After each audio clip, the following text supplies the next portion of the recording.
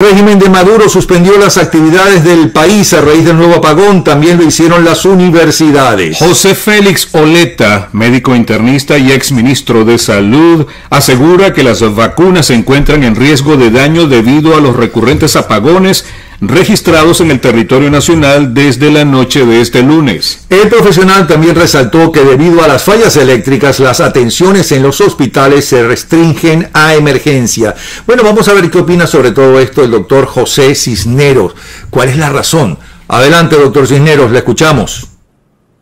Como ha sido ampliamente documentado, la situación actual en Venezuela es crítica en todo lo que tiene que ver con la atención a la salud. Ya veníamos desde hace meses sufriendo los embates de un sistema de salud desordenado, ineficiente y corrupto que carecía de los recursos económicos y organizativos para ofrecer medicinas, insumos y recursos para atender a la población más necesitada en el área de la salud. La situación se ha tornado ahora mucho más crítica con los recientes apagones y la caída de la red eléctrica. La razón es muy sencilla.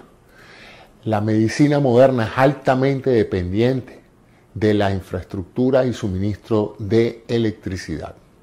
No solamente son la cantidad de equipos necesarios para el soporte de la vida, respiradores, equipos de monitoreo, bombas de infusión y una cantidad de dispositivos que mantienen una persona viva si y solo si hay una corriente eléctrica que eh, permita que estos eh, instrumentos funcionen. Todos los hospitales deberían tener una planta eléctrica de energía para suministrar la electricidad por periodos cortos, horas, quizás hasta 12 o 24 horas, pero ciertamente no para manejar la totalidad de las necesidades eléctricas de un hospital en virtud de que la red eléctrica de la calle, la red eléctrica nacional, este, se encuentre eh, eh, totalmente eh, destruida o inoperante como está en estas actuales situaciones.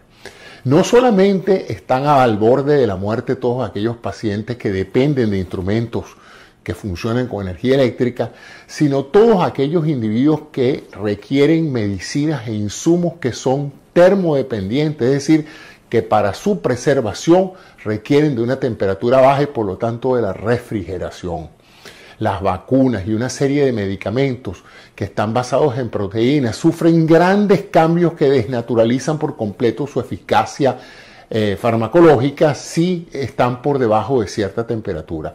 Eso significa que ya con la carestía de insumos y vacunas que había en Venezuela, este deterioro de la red eléctrica está causando pues la pérdida de miles de dosis de vacunas y de medicamentos que se van a tornar inútiles si no se preservan a la temperatura correcta.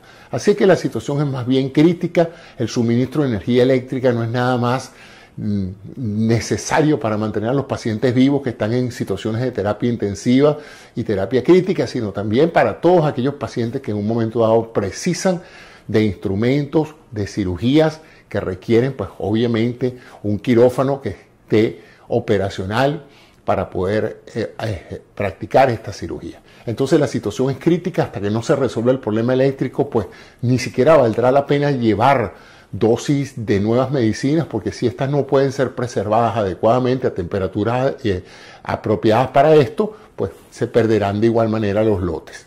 Ese es mi comentario de hoy.